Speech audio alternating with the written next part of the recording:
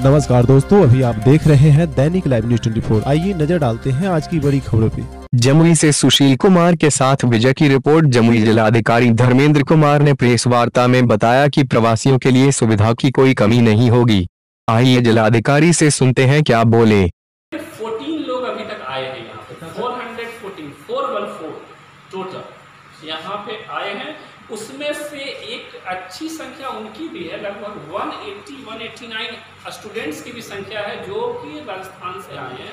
उनको हम लोगों ने होम आइसोलेशन में रखा हुआ किन किन प्रदेशों से अभी तक जम्मू ज़िले में लोग आए किन किन प्रदेशों से आए हैं इसका एग्जैक्ट डिटेल तो मेरे पास नहीं होगा अभी लेकिन इम्पोर्टेंट चीज़ बताना हमको याद नहीं रहा। स्टेट गवर्नमेंट द्वारा घोषणा हुई है कि जो लोग 21 दिनों तक इस इसमें रहेंगे उनको हम लोग हज़ार हज़ार रुपए के राशि से सहयोग राशि भी देंगे ये भी स्टेट गवर्नमेंट का घोषणा हो चुका है। इसीलिए लोग मोटिवेट हों लोग आए इसी के लिए हम लोगों ने इसको रखा। सूरत वाला सर पटौना घंटे में सूरत के लोग आ जाएँगे फिर हम लोग के पास। राहत के लिए बनाया गया। सब कॉलेज में ने हंगामा भी किया हंगामा नहीं किया। एक्चुअली